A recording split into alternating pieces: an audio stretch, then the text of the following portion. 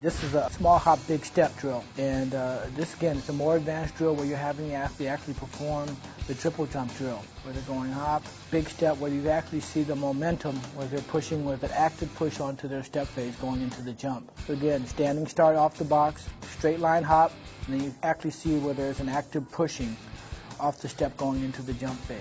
Good standing start, you notice double hop onto the step phase. If you notice where the athlete's utilizing the yellow box to the blue box, you're actually going to see him project himself onto the blue box using uh, the arm activity.